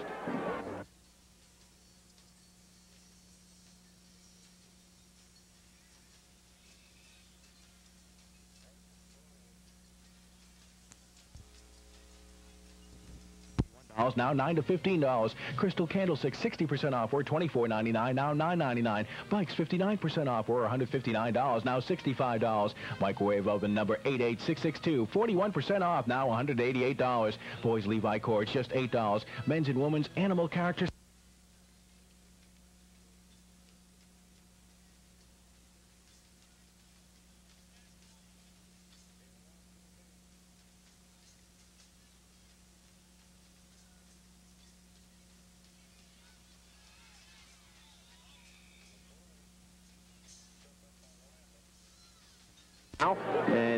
uh, with Shrewsbury running that no-huddle offense again, they're already at first or fourth and one. Fourth and one. Uh, the uh, official on the other sideline had the first down signal up. Uh, uh, it'll be fourth down. You missed three downs. They've run them three times to Duncan McCray, and uh, it's just what they did when they opened the game, and they're they're right where they were before at the 46-yard line. And McCray gets the call on fourth down, and on second effort may have the first down. It depends on the spot. And uh, Coach Holland obviously feeling that this is a four-down uh, situation here. They got to get something going. Uh, they've, they've been able to move the ball, but uh, just from the 40-yard line to the 40-yard line, and indeed it is a first down, across midfield at the Milford 45-yard line. And uh, Shrewsbury trying to get something together here. They, it's it's it's it's still early in the game, really, but time, seven when, nothing. when you're down seven to nothing, you start to feel you're back against the wall. First down, 45-yard line. Cormier dropping back the pass over the middle, and Fessler picks it off down at the 25-yard line, and he's going to return it to the 30, 35, still on his feet, cuts back across the field, and he fumbles. And Todd Boldy alertly falls on that ball. Scott Fessler and a flag down on the field across the way at the 35-yard line. And a real uh, uh, heart stopper there. I don't know. It uh, the ball bouncing around out there. You just don't like to see that type of thing. The flag came after the interception, so it should still be Milford's ball. Uh, Fessler made a nice play, but actually number 20 for Shrewsbury, who's Bob Cody, was wide open up the middle. Uh, Cormier just overthrew him, and Fessler made a nice play to recover and an over-the-shoulder catch. He had a nice run back, but then he got hit. The ball bounced backwards about 10 yards, and Todd Boldy alertly fell on it to save, uh, keep the ball in Milford's hands. And we have a clip against Milford that will march the ball off, but it was a post-possession call. So, as you said, Jerry, Milford will maintain possession. It'll just be back at the 20 yard line, exactly the 20-yard line, and it'll be first down and 10.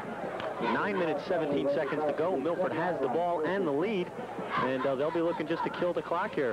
I think that Mil Milford would like to have a sustained drive. They might put it up a, a couple of times, but I think they're going to stay basically conservative. Don't want to make any mistakes deep in their own end.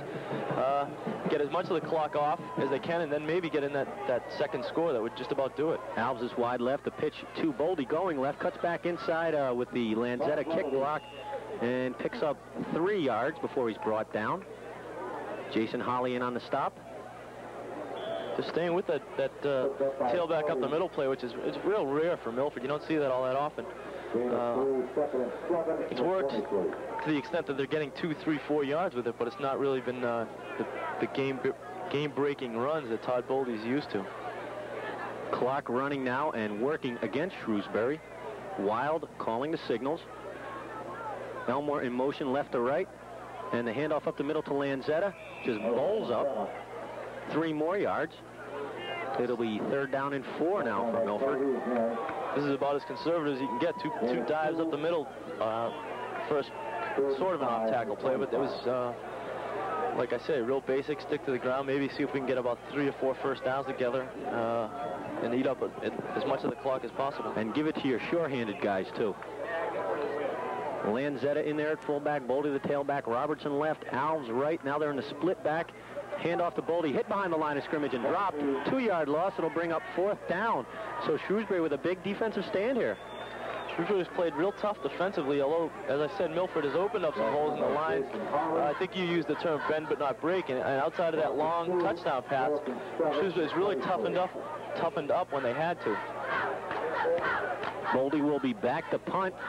And deep to receive will be uh, Duncan McCray, the 60-minute guy.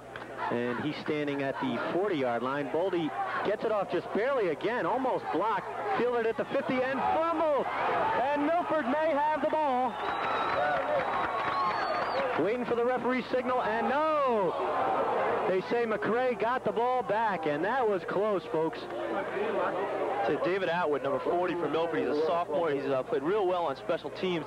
He dove in there, and it looked for a minute like he might have come up with the ball, but uh, McCray obviously fought it, fought his way to uh, regain possession, and Shrewsbury has real good field position now.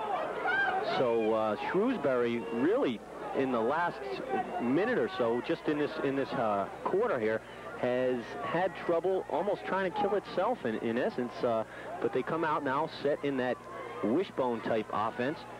Cormier, and there's movement on both sides, and I think this one's got to go against uh, uh, Shrewsbury. Jason Hawley lined up in the backfield, uh, very similar to, to, the kind of play we've talked about, the full house backfield that Milford runs. Uh, obviously not used to being back there, and he jumped forward. Uh, still could have saved it if he'd gone into motion or something, but uh, just didn't didn't really think of it, and turned out to be, uh, looks like it's going to be five yards against Shrewsbury. While they figure this penalty out, we're going to take a break for this message. Liquid chromatography may be a mouthful, but you might be surprised.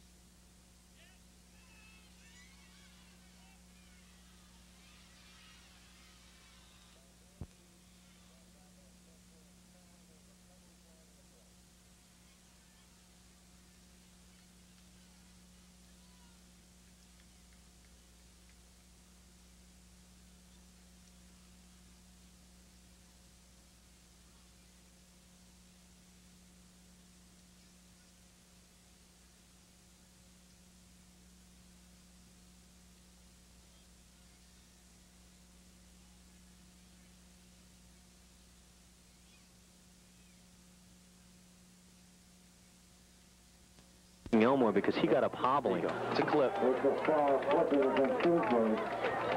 How am I doing on those guessing so far? I think I'm two for two, aren't I? I think you're batting about 666, Jerry. You missed one early. Oh, did I? no, it was early then. Yeah. Had to warm up a little bit. You had to open your eyes. and he's got them open now, folks, and uh, that's a 15-yarder. Uh, any personal foul is a 15-yard penalty in high school football, so uh, it'll be back to the 28-yard line where it'll be first down once again. And uh, the clock says 30. That's about right. And it is right. 30 yards for the first down for Shrewsbury. Actually, uh, it looks like about 31. In high school football, they take it from where the foul occurred, and it was about a yard behind the line of scrimmage, so they marked it from there. Split backfield now with two wide receivers right. The pitch going left to Cardozi, and he picks up two yards and is brought down by Curran for Milford, and also in there was DiGirolamo, who's been all over the field today. He's played a great game. Every every game, he's he's been incredible this year. He really has. He's uh he's a sure thing for all league. He's he's got to be considered one of the most valuable defensive players in the Midland League. Surprisingly mobile for a big kid. Too. Yeah, that's it. He's always in the backfield, always in the other side pursuing. He's just uh, had an incredible year. And the split backfield now, dropping back to pass is Cormier, and he's looking to set up the screen again. He's got Cardozi. Cardozi's got a couple yards, but he is hemmed in at the sidelines. Fester, Fessler in there, Curran catching him from behind, and also Elmore in there. And Curran once again getting up a little slowly, but uh, not really hobbling on that ankle like he had when he caught the pass. He's been back in uh, uh, for the last two series on defense. Milford coaching staff really irate, uh, real wide open uh, on that play. So we have a timeout once again on the field with six minutes, three seconds to go, and Milford holding a 7 to nothing lead. We'll be back right after this message. From Wild to Alves, nobody really, the, the closest that uh, Milford's gotten is inside the 20-yard line. Uh, Shrewsbury never really getting in there. They've been playing from about the 40 to the 40 today. This has been a 30 to 30 game, both both teams in the middle of the field. Cormier takes a snap, dropping straight back. Boldy in there and hits, and there's a fumble. And Cormier was leveled. They're calling that an incomplete pass. And boy, did uh, it, did Boldy get the lick in on Cormier today. Boldy came from that left end position that he plays. It looked as if he was going backwards, but the uh, referee was right on top of it. I don't know if you can hear it, but the Milford fans don't like it all that much. Very unpopular call here in Milford.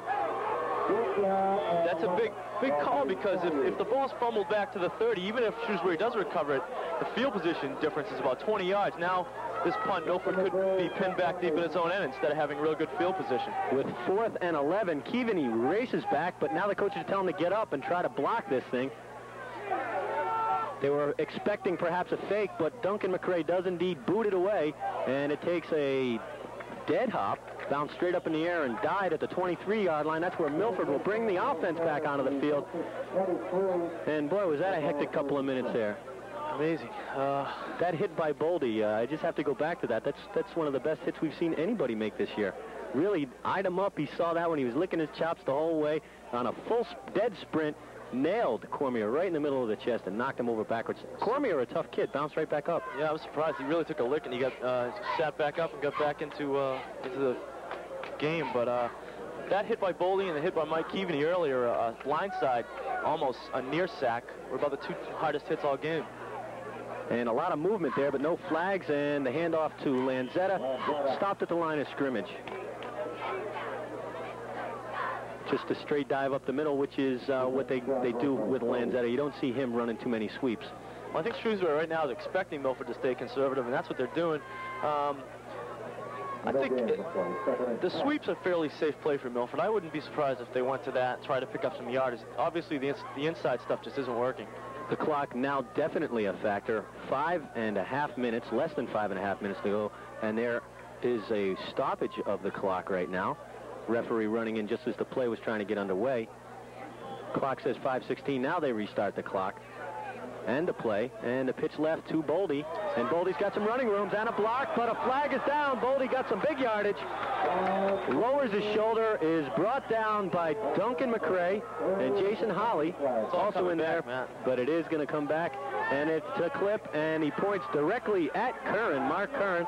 Curran doesn't know what the referee's talking about, of course. Uh, there's a uh, there's a buffer zone between three yards on both sides of the line of scrimmage that uh, where if you clip somebody, it isn't a clip because it's considered uh, I don't know incidental contact or something like that. But uh, I guess the referee decided that it was behind that three yard Not within the zone, right? Well, I, it's a tough call, real tough call for Milford at this point. I know that.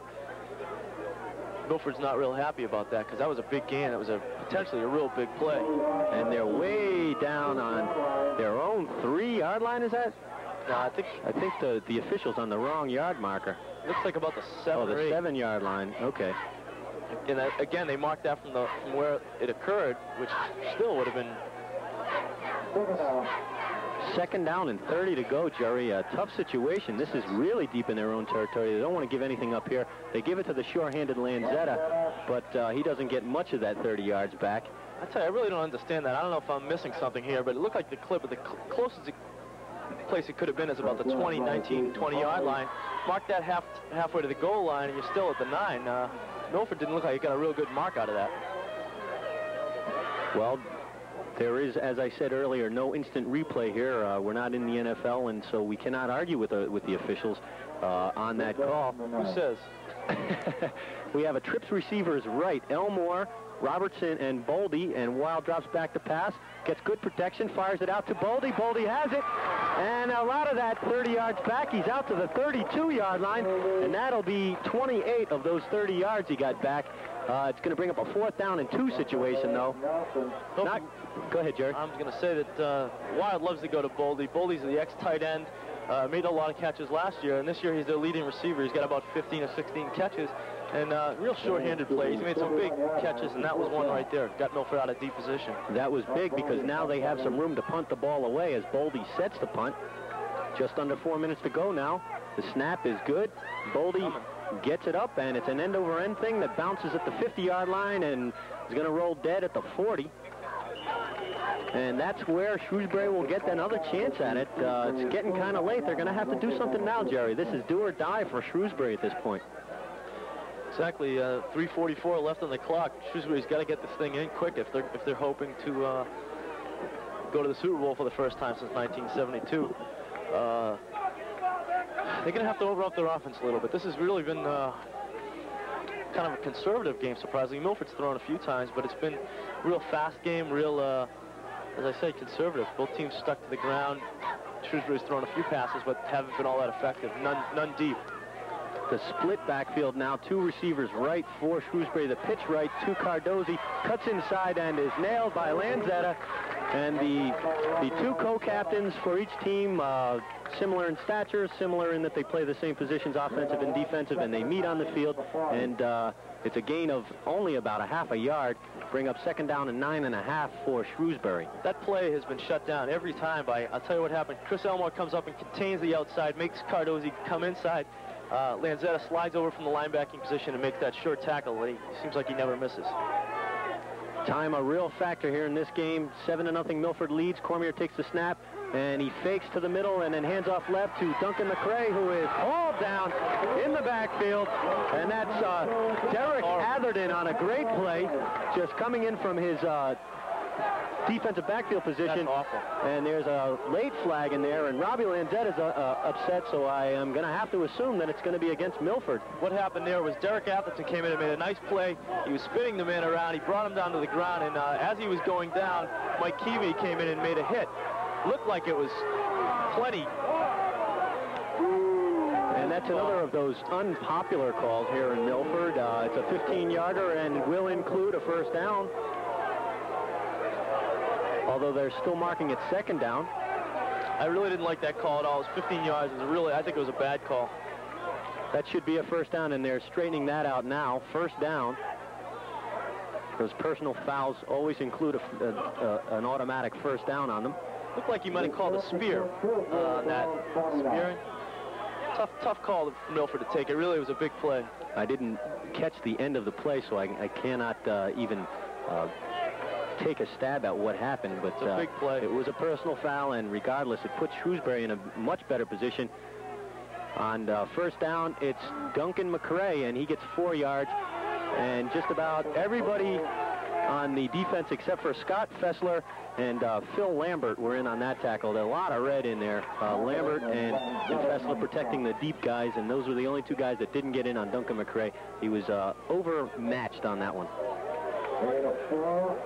Two minutes, 20 seconds, and counting here in this homecoming game on Thanksgiving. Beautiful day for a game, and we've seen a real good one. 7 to nothing. Milford leads. Time running out on Shrewsbury as they take a last-ditch effort at it. And here's Cardozi, and he busts it up the middle, picks up 14 yards. And a first down, and he's down to the 34-yard line for of the Milford 34-yard line. And uh, Shrewsbury really making a fight of it. Well, they're sticking to the ground, and they're eating up the clock. They're going to have, they're, they're, it's kind of an all-or-nothing thing. They feel, figure this is what they do best. They run the ball, they're going to run it, hopefully get down in there and score before uh, the clock expires, and then they go for the two, I'm, I'm positive. We're under two minutes to play now. Cormier takes the snap, hands off up the middle, Cardozi again forges ahead for three or four yards. Clock continues to run now. There's a timeout on the field, and Shrewsbury has called a timeout. And while they take a break on the field, we're going to take a break up here in the booth. We'll be right back.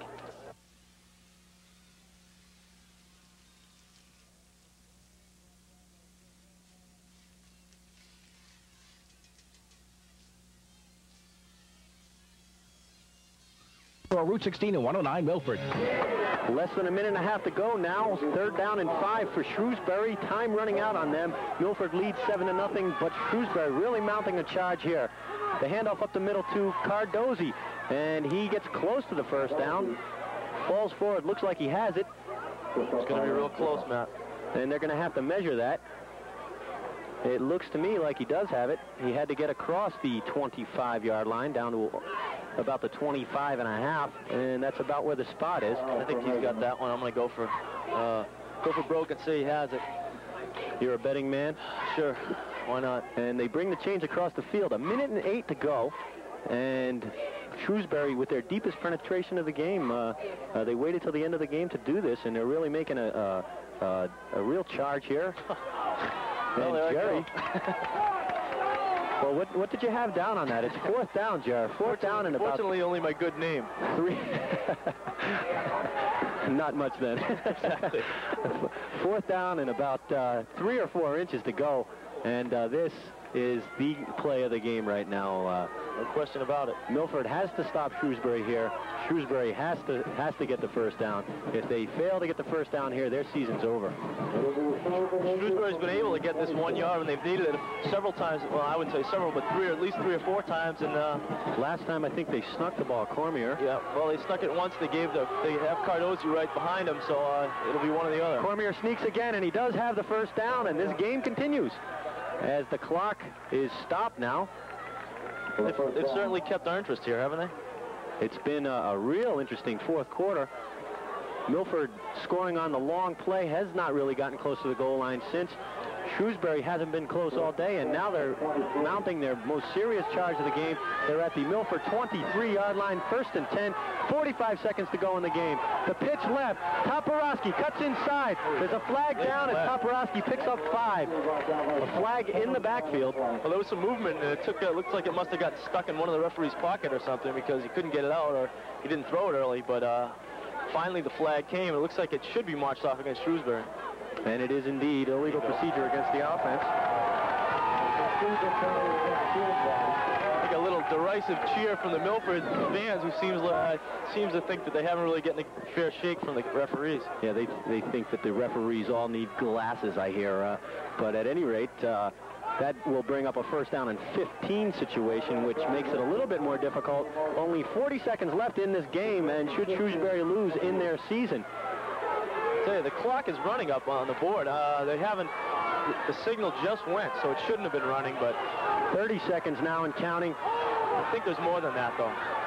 Cormier takes the snap, drops straight back, looking into the end zone. The ball's tipped up and incomplete. Clock will stop with 19 showing on the game clock. But we don't know if that's the official clock because, as Jerry said, there was some question as to whether that clock started prematurely or not. Mike Keaveney made a nice play. That ball was up. He could have tried to intercept it. He could have could have uh, just batted it up in the air, but instead he made the nice play by batting it out of bounds. No no chance for anybody to catch it. This is a situation where they may have to depend on the throw again. Cormier, single setback is Cardozi. Cormier will throw. He's going towards the end zone. Duncan McRae there. Scott Fessler has the interception. At the seven-yard line, Scott Fessler coming up with the second interception of the game, and that will just about wrap it up here, Jerry. He had that one all the way. It was playing a zone defense, a deep zone on the left side. Cormier threw it up for grabs. Uh, Fessel played the ball all the way, made the short-handed catch around his head, and uh, just brought it in, made sure he didn't lose it again. Big play by Scott Fessel, who's been making them all year back there. 12 seconds left on the game clock. Milford will take over at their seven-yard line. They lead seven to nothing. All they need to do is fall on it here. I think uh, I think we're going to see Milford play next week. Uh, chances are real good for them to get in the Super Bowl. We have to check out some other scores and, and make sure the people that we needed to win win. And uh, but it does look good, as uh, Nick Sakili said earlier, as Jerry Guerra confirms here, and Chris Wild sits down on the ball, and Shrewsbury calls a timeout. Nine seconds left. But uh, really just a formality here, Jerry. They can afford to run the clock out here. Well, if they keep calling timeouts, Milford uh, Milford might have to do something with that. Shrewsbury saved a few timeouts, it's a question of how many they have left. So with this timeout on the field, we're going to take another break here, but we'll be right we'll be right back to bring you the end of this game right after this message.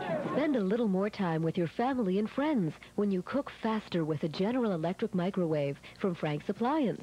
And since it never hurt to save a lot of money when you buy something wonderful, you'll be delighted that Frank's has the GE Gem 5 microwave on sale for just $1.99. A great GE microwave that cooks and defrosts by weight, has five power levels, time cook 1 and 2, and a lot more. And speaking of more, this is just one of the GE microwaves on sale now at Frank's Appliance, 331 Main Street, Milford.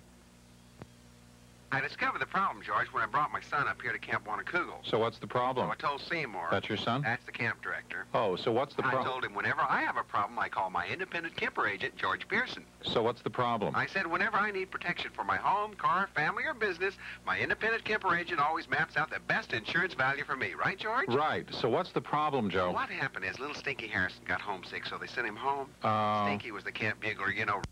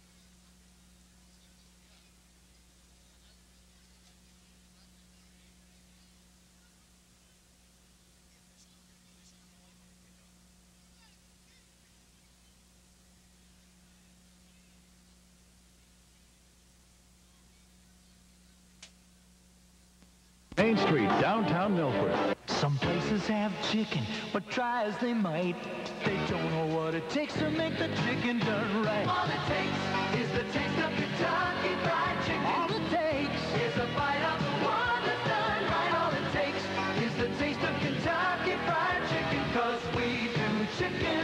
After the game or anytime, Kentucky Fried Chicken in Milford is the place to find the best chicken money can buy, including original extra crispy and during lunch barbecued. Kentucky Fried Chicken, 112 Main Street, Milford wishes the Scarlet Hawks the best of luck. We do chicken right.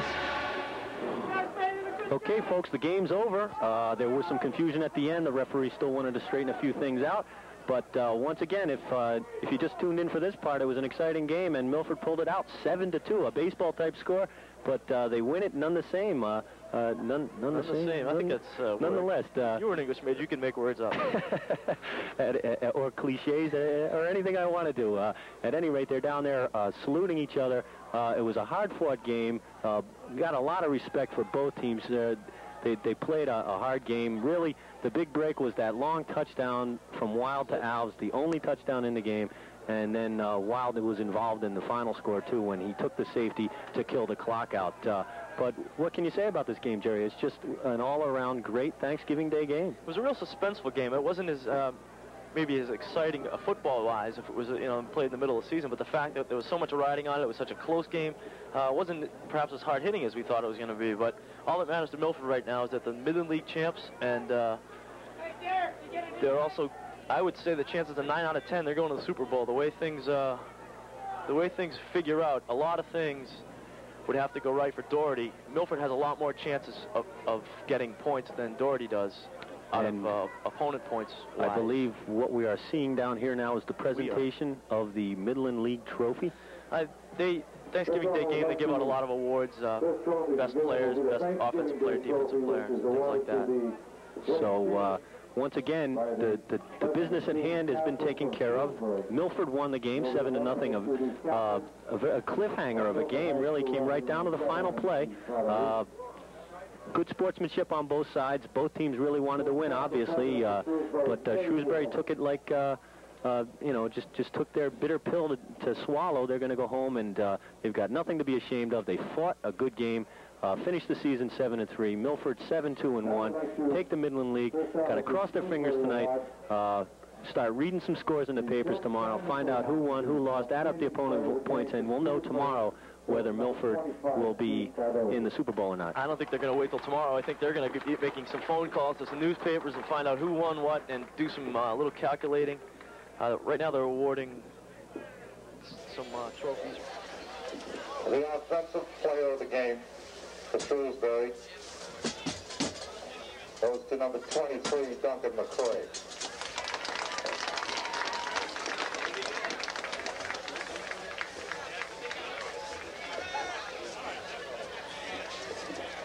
Now for the defensive trophy for Shrewsbury, number 56, Jason Hawley.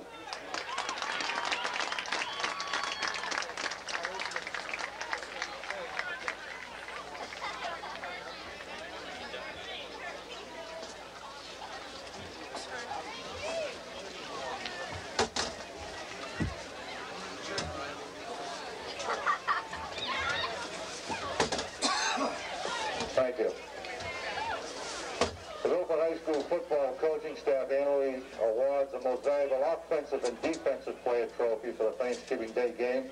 The awards are given in recognition of the role interscholastic athletics plays in the development of the individual and team concept.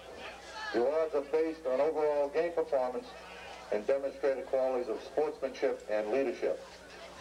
The offensive MVP trophy for today's game for Milford High is awarded to number 21, Chris Al.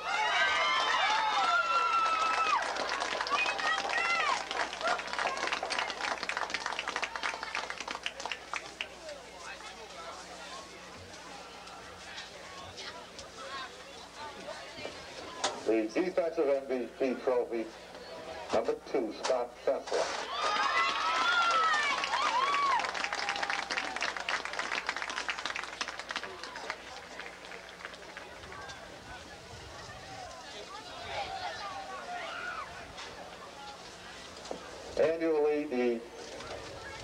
Gonzaga D'Amico Corporation presents a lineman of the Year Award to a member of the Milford High School varsity football team.